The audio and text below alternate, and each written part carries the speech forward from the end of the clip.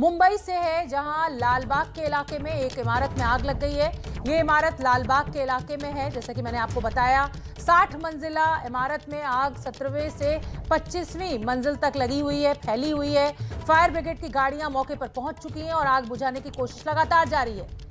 अविघ्न park नाम की इस इमारत की 19वीं मंजिल में सबसे पहले आग लगी और फैलती चली गई ये आग 25वें माले तक। आप देख सकते हैं तस्वीरों में मल्टी स्टोरी बिल्डिंग ये इसमें 17वें फ्लोर से आग लगनी शुरू हुई और फिर 25वें फ्लोर तक ये आग फैल गई। तो मुंबई की ये तस्वीरें आपके सामने हैं। लालबाग इलाका, ये बहुमंजिला इमारत आपके सामने। और देखिए किस तरीके से धुआँ जो इस इमारत से बाहर निकलता हुआ नज़र आ रहा है। हालाँकि इस इमारत को देखकर ऐसा लग रहा है मुझे कि शायद अभी यहाँ लोगों की रिहाइश नहीं है। हम अपने रिपोर्टर्स से डिटेल्स और लेने की कोशिश करेंगे। फ़िलहाल जो तस्वीरें देखने के लिए मिल रही हैं अच्छा दो तरफ़ से धुआँ भी दिख रहा है। एक तरफ़ से बहुत ही काला घना धुआँ निकलता हुआ नज़र आ रहा है, तस्वीरें आप देख रहे हैं। दूसरी तरफ़ से, ये देखिए, एक तरफ़ से तो आग की लपटें और काला घना धुआँ भी उठता हुआ नज़र आ रहा है। तो देख सकते हैं आप कितनी भीषण ये आग है। ये देखिए, आग की लपटें नज़र आ रही हैं, काला घना धुआँ। मुझे ऐसा लगता है कि निर्माणाधीन इमारत है। अब इसमें लोग रह रहे हैं या नहीं, ये कहना अभी मुश्किल है।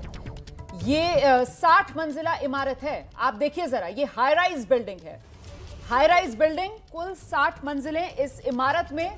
और जो जानकारी मिल रही है अभी, शुरुआती ये जानकारी है, जो सत्रहवीं मंजिल है मतलब सेवनटीन फ्लोर वहाँ पर यह आग लगी है। और फ़िलहाल फायर ब्रिगेड की गाड़ियाँ जो मौके पर पहुँच रही हैं, इस आग पर काबू पाने के लिए, सत्रहवीं मंजिल से लेकर पच्चीसवीं मंजिल तक इस वक्त आग की लपटें और घना काला धुआँ निकलता हुआ नज़र आ रहा है।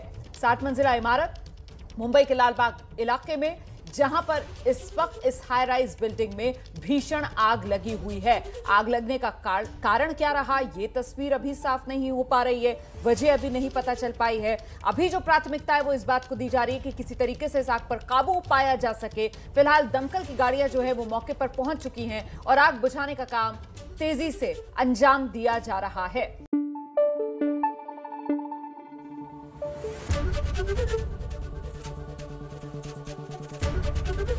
एबीपी न्यूज़ आपको रखे आगे।